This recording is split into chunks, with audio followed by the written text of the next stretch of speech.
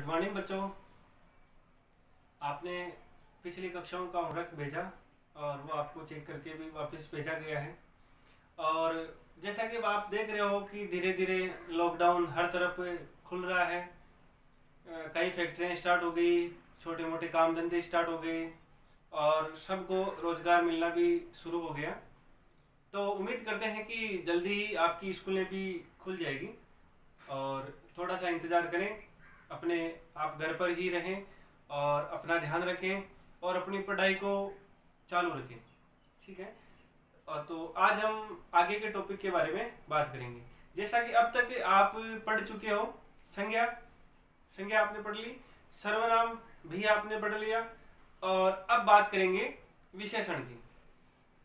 विशेषण, परिभाषा, जो शब्द संज्ञा या सर्वनाम की विशेषता बताते हैं, वो शब्द कहलाते हैं विशेषण। ठीक है? जैसे आप परिभाषा से आप समझ गए होंगे कि विशेषण क्या होते हैं।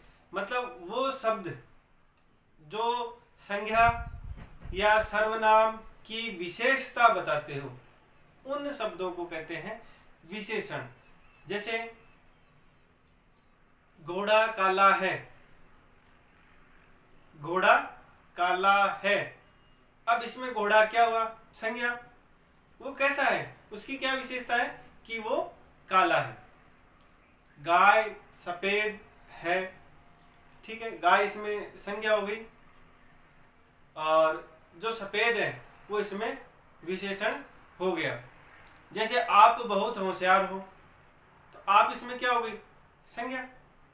और होशियार जो शब्द इसमें यूज़ हुआ है, वो आपकी विशेषता बता रहा है कि आप होशियार हो तो वो हुआ विशेषण। ठीक है?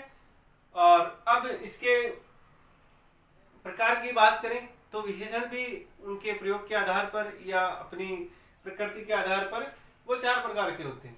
गुणवाचक, संख्यावाचक, परिणामवाचक और संकेतवाचक। तो विशेषण ये चार प्रकार के होते हैं और इन चारों को अलग अलग प्रकार से समझेंगे। तो इसमें सबसे पहला है गुणवाचक विशेषण।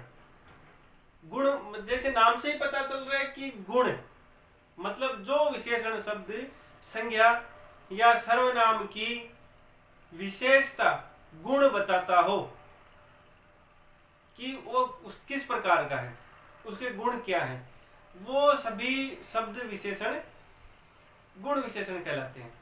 जैसे, मोहन अच्छा लड़का है, उसका क्या गुण हुआ, कि वो अच्छा लड़का है। उसका भाई मूर्ख है। ठीक है? तो इसमें जो मूर्ख शब्द है, उसके भाई की गुण बता रहा है उसके भाई के तो वो क्या हुआ? गुणवाचक विशेषण। ठीक है? इसमें आप और भी ले सकते हो। जैसे सोनाक्षी पढ़ाई में बहुत होशियार है। ठीक है? तो ये तो सोनाक्षी हुई, वो संज्ञा हुई, और जो होशियार शब्द प्रयुक्त हुआ है, वो उसकी विशेषता बताने के लिए यूज़ हुआ है। तो वो क्या हुआ? गुणवाचक विशेषण। अगला विशेषण आता है संख्यावाचक विशेषण। मतलब वे विशेषण शब्द जो संज्ञा या सर्वनाम की निश्चित या अनिश्चित संख्याओं का बोध कराते हो, वे सभी शब्द विशेषण क्या कहलाते हैं? संख्यावाचक विशेषण। जैसे आप चार भाई बहन हो, ठीक है? तो इसमें जो चार जो शब्द आया है, वो आपकी संख्या बता रहा है कि आप चार भाई बहन हो, मुझे कुछ रुपए दो। मुझे कुछ रुपए दो। इसमें जो कुछ, जो शब्द आया है, ये संख्यावाचक विशेषण आया है, ठीक है? तो इस प्रकार के जो शब्द है, वो संख्यावाचक विशेषण कहलाते हैं। अगला जो विशेषण है, वो है परिमाणवाचक विशेषण। परिमाणवाचक विशेषण क्या होता है? पहले तो इस शब्द को थोड़ा सा गौर करना। परिमाण और परिणाम। ये दोनों अलग अलग शब्द हैं। परिमाण का अर्थ होता है क्वांटिटी ये अपन मापतोल के लिए यूज़ में लेते हैं। और परिणाम होता है रिज़ल्ट कि आपने कोई काम किया और उसका आपके सामने क्या परिणाम आया, क्या फल मिला, वो होता है रिज़ल्ट ये है परिमाणवाचक विशेषण जिन शब्दों से किसी वस्तु के परिमाण क्वांटिटी या नापतोल का बोध होता हो, वे शब्द परिमाणवाचक विशेषण कहलाते हैं। जैसे, आप किसी दुकान पर जाते हो, उसको जाके कहते हो, दो मीटर कपड़ा दो। ठीक है? तो इसमें जो दो मीटर कपड़ा आप मांग रहे हो, वो परिमाणवाचक विशेषण का उदाहरण है। राकेश, तीन किलो दूध लाया। ठीक है? तो इसमें जो तीन किलो, जो आया ना शब्द, ठीक है?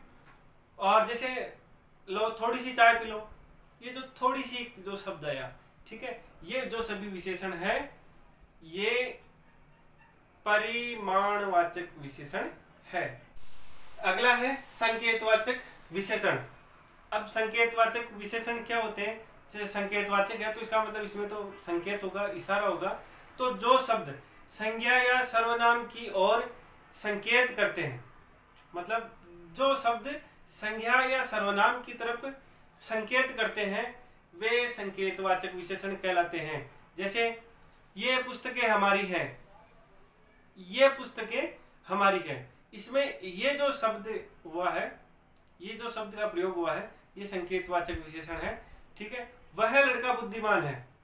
तो मतलब वह अपन उसकी तरफ़, लड़के की तरफ़ इशारा करके कह रहे हैं ना कि वह लड़का बुद्धिमान है, हम उसकी तरफ़ संकेत कर रहे हैं। तो इसमें जो वह शब्द का यूज़ हुआ है, वो संकेतवाचक विशेषण के रूप में यूज़ में हुआ है। तो हमने पढ़ा कि विशेषण, कि जो शब्द संज्ञा या सर्वनाम की विशेषता बताते हैं, वो विशेषण होते हैं। विशेषण के चार भेद होते हैं, गुणवाचक, ठीक है, संख्यावाचक, परिमाणवाचक और संकेतवाचक। तो आप सभी इस वीडियो को ध्यान से देखेंगे, इसको समझेंगे और इसका जो होमवर्क आपको ग्रुप में भेजा जाएगा, उसको करके और तुरंत वापस भेजें धन्यवाद।